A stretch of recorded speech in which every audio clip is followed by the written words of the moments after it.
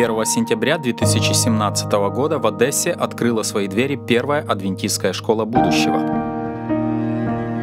Функционируют первый, седьмой и восьмой классы. Учебный день начинается с утреннего вдохновения и молитвы. Церковное учреждение, скажем так, да, тут духовно воспитывают э, детей, тут перед э, учебой молитва, как бы такое мини-служение, как бы такое духовный, духовная пятиминутка, как зарядка. Понимаете, я поняла, что Господь дает что-то нам, а кто-то может над этим смеяться. Смеялся ли Иисус над тем, кто был маленький ростом, такой как Закей? Смеялся ли Иисус, если у кого-то нет рук и ног, такой как Вутич, да, Ник Вутич, вы знаете такого? Смеется ли Иисус, когда кто-то не знает, сколько будет 5 плюс 2, хохочет ли он над ними? Нет, посмотрите, какой был характер у Иисуса. Трости надломлено не преломит, и льна курящегося не угасит, доколе не доставит суд победы. Научили послушные, помогать, чтобы мы всегда слушали и были как Иисус.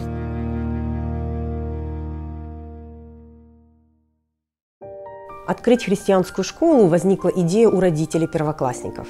Я поняла, насколько это важно, чтобы ребенок э, в школе учился все шесть часов э, у ног Христа, чтобы он слышал постоянно о Боге, чтобы он находился э, в обществе таких же верующих, как он, чтобы он учился решать все вопросы через молитву, в разрезе Библии, в разрезе, понимал жизнь в разрезе великой борьбы. Это настолько важно для меня. Во всей Одессе не было адвентиста-преподавателя начальных классов. Вы знаете, ровно через неделю ко мне позвонила Алла Константиновна. В 2017 году я закончила педагогический уни университет. Но когда я еще поступала, я уже тогда сильно мечтала о том, что Бог подарит мне такую возможность, и я буду работать в адвентистской школе. Я даже себе не представляла, что эта мечта моя сбудется. Так собрался класс из шести человек.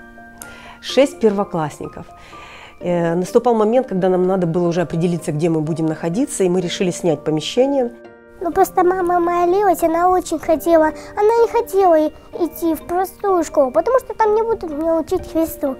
И тогда открылась эта школа. И мама решила меня сюда отдать. А что тут особенного в этой школе? Да ничего особенного. Тут мы математику учим, мы чтение э, учим потому что я христианка. Против постой могут жить свои быть учителя и бить.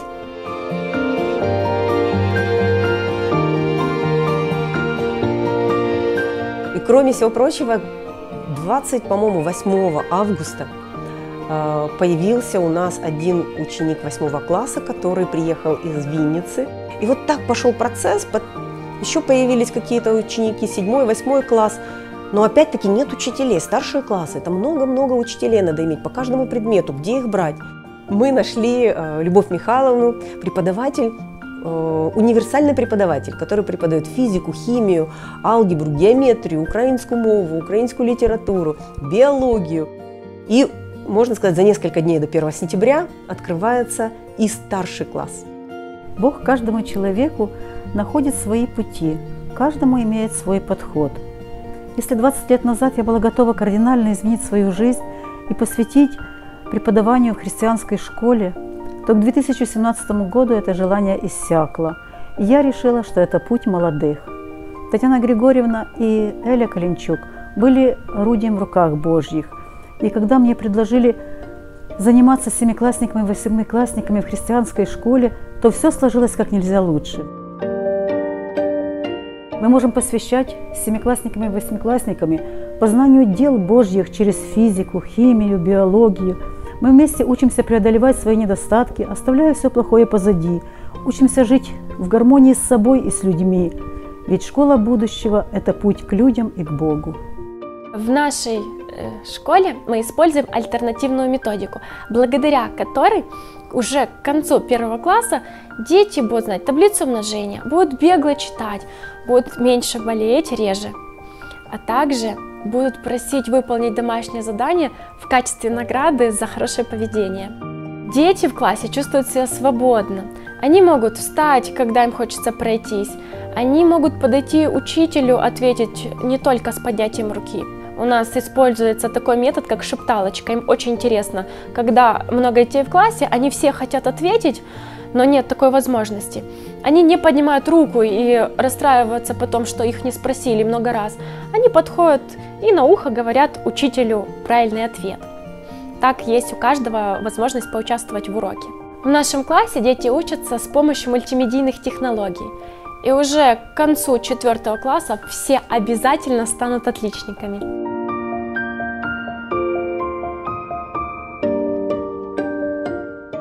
Алла Константиновна очень мягкая к нам.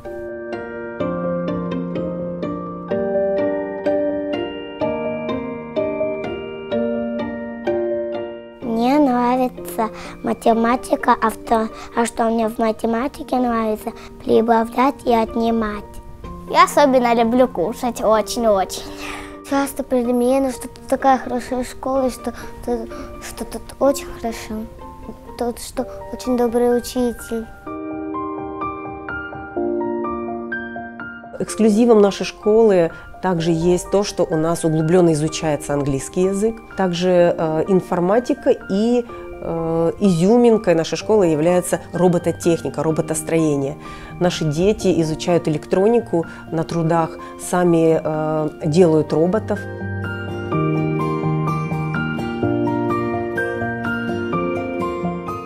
Есть группа продленного дня. Также у нас э, планируется открытие музыкальной школы, класс фортепиано, класс гитары. Что такое христианская школа? Некоторые родители думают, что это просто собрались христианские дети, христианские учителя, и вот они преподают. Христианское образование – это когда детей учат общеобразовательным предметам, но в то же время они, э, э, учителя интегрируют библейские истины в школьную программу. Природа для нас це доповнення до Біблії, це та книга, яка нам найперше розповідає про Бога, тому що, дивлячись на навколишній світ, ми пізнаємо, як він збудований, як він існує, і людина може тільки пізнати цей світ. А чи може людина сама щось створити, чи задумувалися це? А ще такий самий фундаментальний закон збереження енергії. Пам'ятаєте про цей закон збереження? Ігор пам'ятає? Перший закон термодинаміки.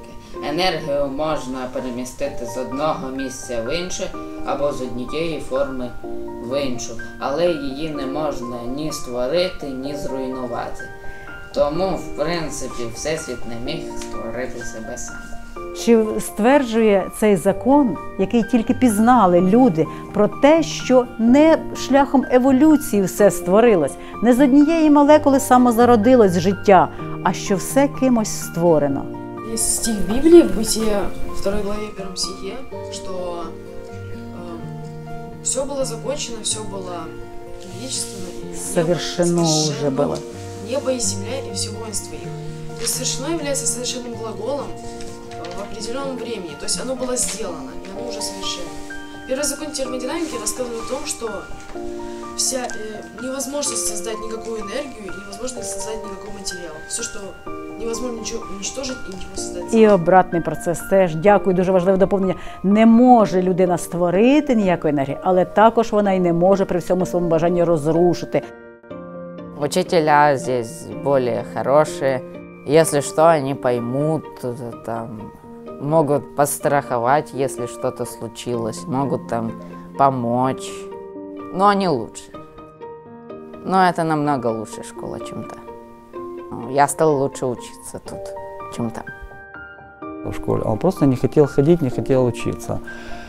И вот когда он пошел в этом году в школу будущего, в адвентистскую христианскую школу, мы его э, не узнали просто. Его не узнают эти соседи наши, там знакомые. Он очень серьезно начал изменяться в лучшую сторону. Сейчас вот там младшим из школы уже преподаватели звонят и говорят, спасибо вам за сына, хороший мальчик, старается. База у него почти никакой нет, но он очень старается, очень позитивный. И если он такими темпами будет заниматься, то он догонит и перегонит всю эту программу. Мы должны понимать, и родители, мы должны думать о том, что наш ребенок в школе проводит от 6 до 9 часов в день. Представьте, что он слышит в, в этот момент. Какую информацию он себя впитывает все эти 9 часов. Ну, он не переживал, переходя в эту школу, как-то сразу ему понравилось, и он загорелся этой идеей. Ну и мы поддержали его в этом. В принципе, мы не видим здесь ничего такого. Школа, я же говорю, наша, как бы наша, от нашей церкви это прекрасно. Тем более мы последний год или полтора молились о том, чтобы наши, в нашем городе образовалась такая школа. У нас есть такие ученики, которые ездят в школу за 40 километров. Они настолько ценят христианское образование, что э, такие герои веры. Мы э, живем далеко, и мы три километра идем пешком. Встаю, я сегодня встала в 5 утра, три километра прошла, чтобы мы там переодевались, потому что шли по болоту. Просто люблю школу больше дома. Решение было, э, скажем так, неординарное. Не все, может, его правильно воспримут. У нас помимо того, что оплата, как бы, да, ну, не маленькая по сравнению с обычной школой, не раз пять примерно или сколько. У нас еще и дорога, как бы нам, мы живем в одном конце города, школа находится в другом. Но мы, я же говорю, были тверды в том, чтобы действительно, несмотря на все эти кажущиеся минусы, один есть большой плюс, что это церковное э, учреждение, скажем так. Мне очень нравится в этой школе, так как совсем другой коллектив, чем в обычных школах. Тут не матюкаются, другое отношение учителей к ребенку. Вообще все э, на духовном уровне.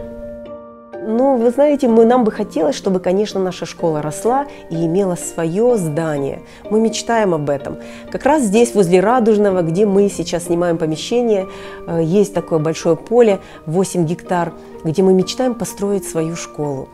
Чтобы наша школа, она была э, большая, красивая, просторная, чтобы в ней э, был и бассейн, и спортивный зал, и были построены кабинеты для труда для девочек, кабинеты труда для мальчиков, чтобы это э, был как такой центр влияния, в котором утром учатся дети до обеда, после обеда там идут различные кружки, музыкальные кружки, и э, вечером туда могут приходить и родители своих детей, тоже участвовать в каких-то мероприятиях, э, участвовать в кружках. Я хочу стать прикольным директором школы. Что все по правилам было, никто не, меня не трогал, не бил. Ну, в таком росте, что меня не трогали. Ну, директора никто не бьет. Я бы хотела, да, ну и вообще я, я бы хотела всегда в этой школе учиться. Я, я пока не знаю, но я пока думаю, что я могу стать либо поваром, либо врачом, который может лечить и, и рассказывать людям о Боге. Сначала хотела парикмахером, а потом ну, пока что парикмахером. Ветеринаром. Когда я вырасту, я захочу стать балериной. Сколько стоит э, спасение наших детей? Разве можно это исчислить в деньгах? Я приглашаю вас в нашу школу. Христианской школе директором и руководителем является сам Христос. Мы рассчитываем, что э, школа будет развиваться, учеников будет больше и, возможно, ну, и цена станет меньше. Но пока как бы так на самообеспечение, так понимаю, школа, благодаря там спонсорам, пока так. Ну, будем молиться и я думаю, что все будет хорошо. И как бы деньги это же не главное. Для главное спасение наших детей это как бы основная идея пребывания в этой школе и, наверное, и организации. Я бы хотела сказать, что родители сюда водили детей, потому что у нас что зря делали спарты, что ли, вот так много.